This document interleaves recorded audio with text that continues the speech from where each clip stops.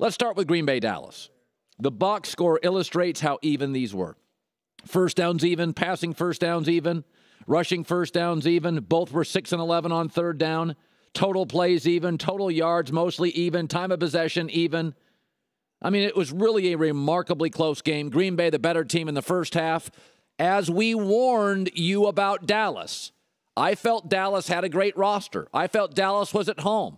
My concern about Dallas was they hadn't played an urgent, meaningful game in a month. And Green Bay's been in this playoff mode for about six weeks now.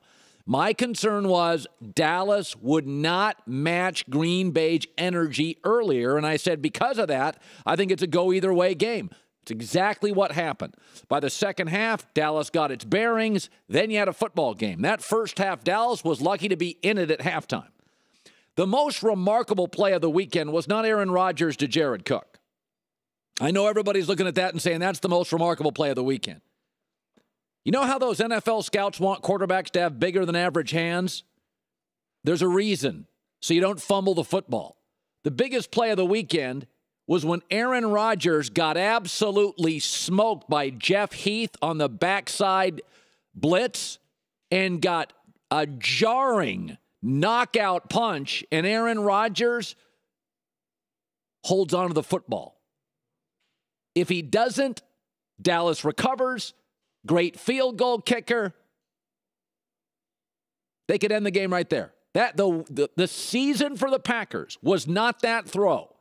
The season for the Packers was Aaron Rodgers' ability. I mean, that is a car wreck. To hold on to that football is remarkable. That to me was more impressive than the throw. I've seen Aaron Rodgers make a thousand great throws, and that was great. But there are very few quarterbacks in the league, including Big Ben and Cam, the big guys, that take that shot and hold on to the football. That was a wow. And then after getting smoked like that, jarring, that'll knock the jelly beans around a little in the jar, right? Comes back a few plays later and delivers the throw of the year.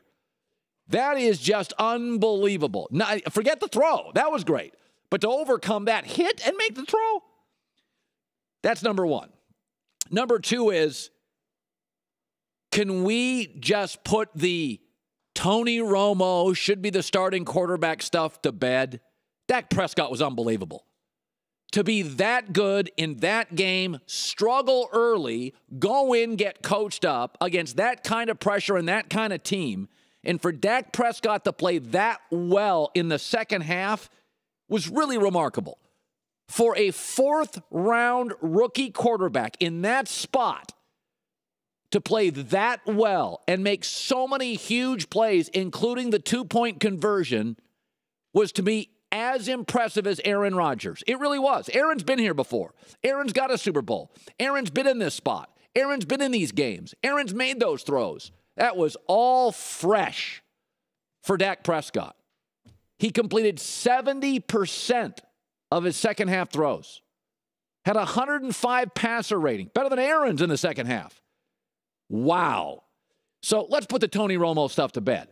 It's over. Dak is going to lead this team for a decade and is going to be terrific and is going to lead you to all sorts of great wins, including playoff wins and probably get a Super Bowl. The kid's the real deal. What poise Here's the other thing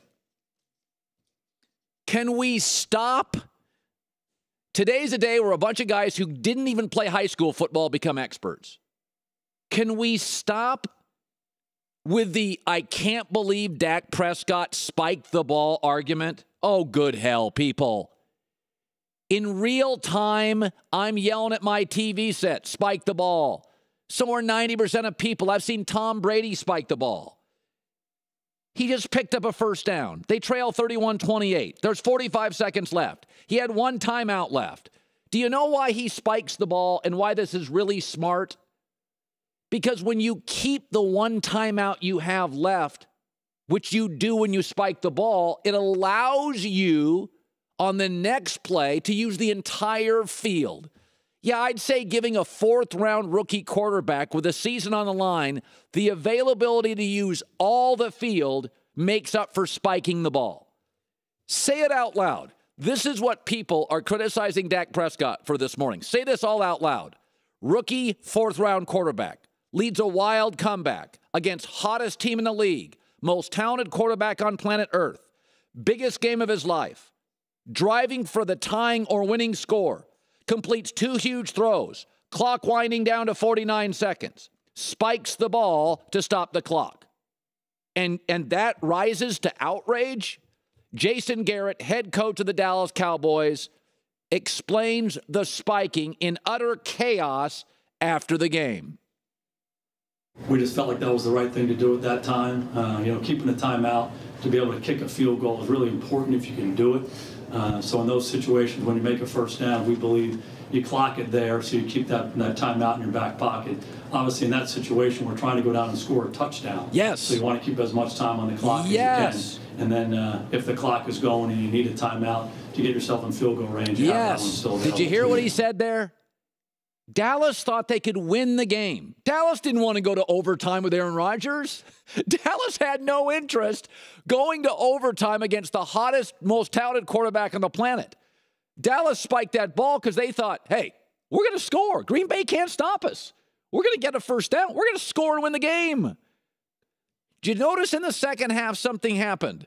Nobody could stop anybody. That was basically three and a half hours where neither defense could make big stops. Dallas had the game won if they could, I don't know, hold Green Bay to not completing a ball in field goal range. They knew Green Bay was throwing, they couldn't control the pocket. This is a game in which every time the offense was asked to make a big play, the offense made a big play.